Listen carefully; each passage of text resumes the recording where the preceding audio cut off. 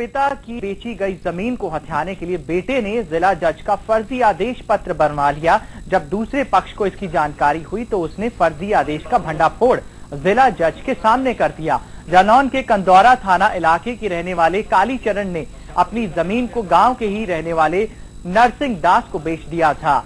कालीचरण के मरने के बाद उसके बेटे राहुल ने वकील चंद्रभान की मदद से जिला जज का फर्जी आदेश पत्र अपने पक्ष में बनवा लिया पोल खोलने के बाद पुलिस ने आरोपी राहुल, वकील चंद्रभान, आरोपी की माँ के खिलाफ मामला दर्ज कर लिया है। पुलिस ने फर्जी मोहर और कागजात बनाने में मदद करने वाले कंप्यूटर सेंटर को भी बंद करवा दिया है। कूट रचित मान्य न्यायालय जिला जज साहब का एक आदेश बना लिया।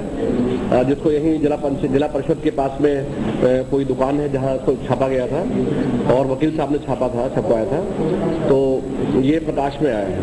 और उसमें मान्य जिला जज साहब के हस्ताक्षर भी बनाए गए हैं।